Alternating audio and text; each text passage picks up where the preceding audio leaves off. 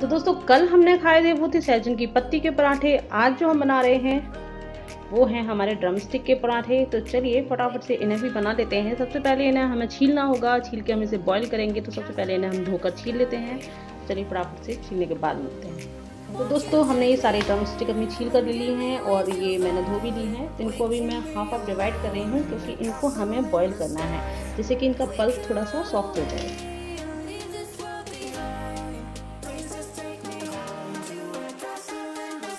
तो ये हमने कुछ हाफ़ हाफ़ डिवाइड करके ले लिए हैं, जिससे कि बॉईल करने में आसानी हो। तो चलिए इनको बॉईल कर लेते हैं।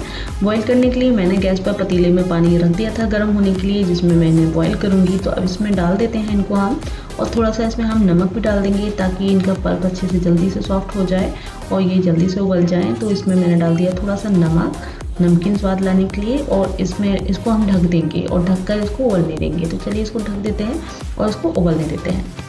दोस्तों फलियाँ हमारी बॉईल हो चुकी हैं। अब इनको हमें ठंडा करना है। तो ठंडा करने के लिए मैं इनको एक अलग बर्तन में निकाल रही हूँ, जिससे कि ये ठंडी हो जाए। ठंडे करने के बाद इनका हमें पल्प निकाल लेना है। तो ये अभी ठंडी हो चुकी हैं और अभी आप देख रहे हैं ये कितनी सॉफ्ट हो गई हैं। इनका यही पल्प हमें निकाल लेना है। अगर फली सॉफ्ट है तो आप पूरी फली ले सकते हैं। बट अगर हार्ड फली है तो आपको उसके पल्प की ज़रूरत पड़ेगी। तो पल्प निकालने के लिए सिंपली ऐसे इस तरीके से हमें छील लेना है थोड़ा सा और चाकू की मदद से इसका पूरा पल्प निकाल लेना है। अगर ये फली हमारी सॉफ्ट होती तो हम इस पूरी फली को भी मिला सकते थे बट ये थोड़ी सी हार्ड वाली है, इस वजह से हमें इसके केवल पल्प की ही ज़रूरत पड़ेगी। इसी पल्प का हम पराठा बनाएँगे दोस्तों, इसलिए जल्दी से हम ये पल्प पूरा निकाल लेते हैं सारी फलियों में से।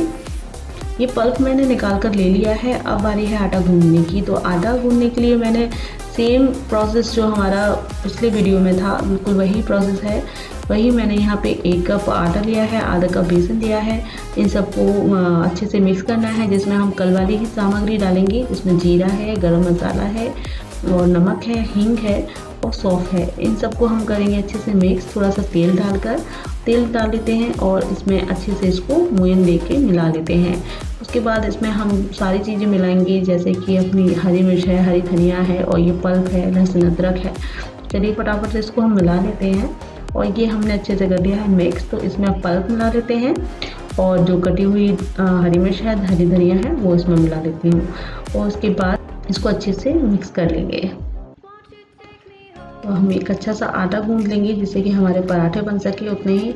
अब क्योंकि ये पल्प था हमारी बॉयल फलियों का, इस वजह से इसमें काफ़ी सारा पानी रहता ही है तो हमें बहुत ज़्यादा पानी की ज़रूरत इसमें नहीं पड़ती इसको लगाने के लिए। बस थोड़ा सा पानी डालकर ये आटा हमारा गूंद जाएगा। तो हमने यहाँ पे डाल दिया है पानी, और आटा गूंदने की प्रोसेस वही है। आटा गूंदने में कोई कोई ट्रिकी वर्क नहीं है, इसलिए मैंने वीडियो को स्किप कर दिया। सॉरी दोस्तों, यहाँ पे मैं लहसुन अदरक का पेस्ट मिलाना ही भूल गई थी। तो इसको मैंने अभी ऊपर से मिला लिया है। अगर आपको लहसुन अदरक नहीं डालना है तो आप इसको स्किप भी कर सकते हैं। लहसुन अदरक से बहुत अच्छा सा टेस्ट आ जाता है पराठों में। तो अभी मैंने इसको गूंद लिया है और इसको एक साथ करते हुए इसको ऐसे ही पाँच, चार, पाँच भागों में तोड़ लूँगी यहाँ पर तो ये मैंने यहाँ पे इसके पाँच पार्ट डिवाइड करे हैं दोस्तों। इससे पाँच पराठे मैं बना रही हूँ। कल मैंने छः पराठे बनाए थे इतने के। वो थोड़े से पतले बनाए थे। अभी मैं थोड़ा सा मोटे पराठे बना रही हूँ तो मैंने यहाँ पे पाँच पार्ट में डिवाइड कर लिया है। कल के हमारे पराठे स्क्वायर शेप में थे, आज के हमारे पराठे ट्राइंगल शेप में होंगे। मैं गोल पराठे आज भी नहीं बना रही हूँ। आप चाहें तो इसको ऐसे ही सिंपली गोल गोल भी बना सकते हैं। लेकिन मैं यहाँ पे लेयर वाले बना रही हूँ, इसलिए मैंने यहाँ पे ट्राइंगल शेप रखा है। तो आप भी कुछ इस तरीके से पराठे बना सकते हैं। आप गोल बनाने हैं, आप गोल बना सकते हैं। ट्राइंगल स्क्वायर, जो भी आप शेप चाहें वो बना सकते हैं। तो चलिए बराबर से इन पराठों को हम सेक लेते हैं। फिर मिलते हैं आपसे वीडियो के एंड में।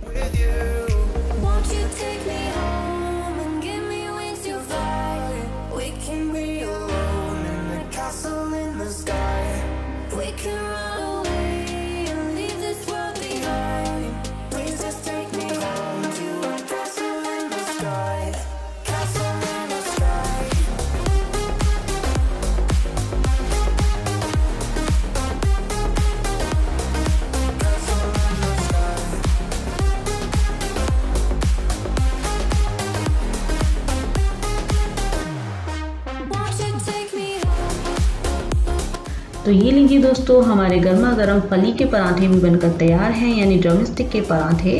कल हमने पत्ती के बनाए थे दोस्तों, आज हमने फली के पराठे बनाए हैं और ये भी बहुत ही ज़्यादा अच्छे से बनकर तैयार हो गए हैं। ऐसी मुझे उम्मीद तो नहीं थी, क्योंकि मैंने ये फ़र्स्ट टाइम ही ट्राई किए थे चाहे फली के हों या पत्ती के हों, दोनों ही टेस्टी पराठे बने हैं हमारे। अगर आपको ये अच्छी लगी है तो इसे लाइक शेयर कमेंट करना ना भूलें और चैनल सब्सक्राइब तो ज़रूर कर लें दोस्तों, क्योंकि बहुत सारे लोगों ने अभी तक चैनल सब्सक्राइब नहीं किया है।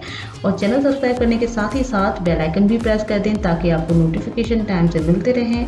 तो मिलते हैं अपनी नई रेसिपी के साथ नए वीडियो में, तब तक के लिए bye bye take care healthy रहिए फिट रहिए।